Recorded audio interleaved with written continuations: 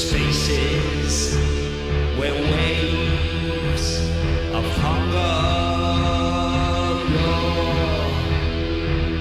Shall we set out across the sea of faces and for?